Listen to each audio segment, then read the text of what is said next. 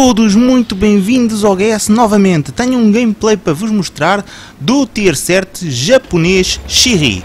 Shiri, um tanque que é, embora seja extremamente manobrável, tem uma pequena dificuldade em atingir a sua velocidade de topo, que também não é muito elevada, apenas 41 km por hora, o que faz com que seja um tanque que vocês não consigam fazer círculos da morte à volta dos vossos adversários.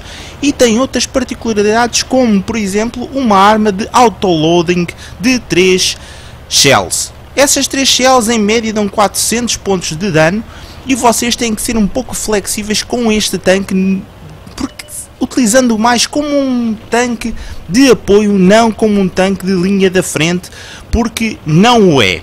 O Shiri tem muito pouca armadura e qualquer arma inimiga consegue-vos penetrar facilmente. Digamos que se eles utilizarem munições explosivas, vocês perdem os vossos 1250 pontos de energia muito facilmente e facilmente são eliminados do campo de batalha. Nesta batalha em si, eu não sou top tier, sou tier 7 e a batalha vai até tier 8. Por isso tenho que ter muito cuidado onde posiciono então aqui o meu Shiri.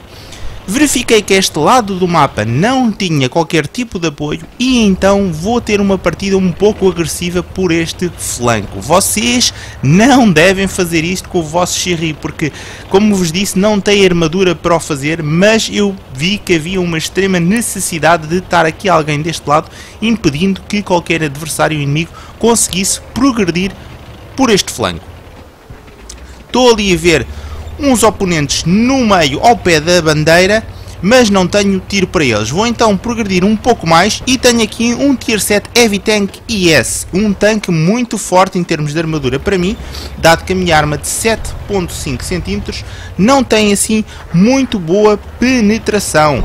Esta arma tem apenas, com munições normais, 155mm de penetração e um IS pode ser um pouco desafiante para vocês, mas este IS encontrava-se a dar a lateral para mim. E eu então castiguei aqui este IS, tirando praticamente com, com as minhas 3 shells metade da sua vida.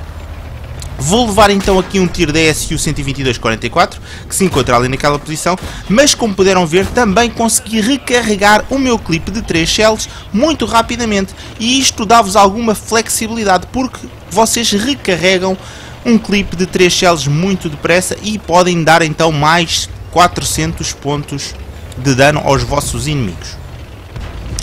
Vou então tentar encontrar aqui este VQ e tentar fazer engage este VQ e vou conseguir então um, dois, traquei no segundo, terceiro tiro e viram que tirei muito de vida naquele VQ. Ele também me deu dano mas eu vou tentar depois de carregar então aqui o clipe de eliminá-lo da partida. Mesmo assim não foi suficiente para o eliminar e vou ter que recarregar novamente, mas como podem ver e como vos disse, é muito fácil recarregar esta arma de 3 tiros. Desvia-me ali de um tiro e então vou tentar então eliminar definitivamente este VQ da batalha. Vou então aproveitar este declive para progredir por este lado e tentar ver se consigo dar apoio então ali ao meio da minha equipa que está ali com poucas dificuldades ali com os adversários que se encontram ali também na zona do meio do mapa. Verifiquei que encontramos aqui então a SU-122-44, vou tentar flanqueá-la e eliminá-la da batalha. Fiz auto-aim, dei um tiro, não me penetrou e o único tiro penetrante foi o tiro, o segundo tiro do clipe. Não consegui eliminar a SU-122 e a minha, um membro da minha equipa então conseguiu eliminá-la. Temos também aqui uma antitanque germânica J Panther, consegui dar ali um bom dano no J Panther e temos outra J Panther ali na posição do monte, muito calmamente ali, vou tentar então dar ali três tiros a ver se algum deles conseguiu unir-se ali com aquela J Panther inimiga. Isto está muito complicado nesta zona do mapa porque eles concentraram-se praticamente todos nesta zona e eliminaram mais um oponente da equipa inimiga e dá-me um pouco de confiança então para progredir um pouco mais. Encontraram ali a artilharia inimiga e eu vou tentar então eliminá-la da batalha. Ver se consegui, consigo eliminar a artilharia inimiga. Consegui então eliminar a artilharia inimiga e vou continuar a progredir. Tem então que ser tipo assassinos neste tanque e aproveitarem as oportunidades nunca tomando a liderança do, da batalha. Também encontramos aqui uma T-25-2 que consegui dar muitos pontos de dano e praticamente esta partida já está ganha. Então o que é que eu vos posso dizer-vos do Shiri? Tem que saber utilizá-lo e saber quando é que os devem utilizar.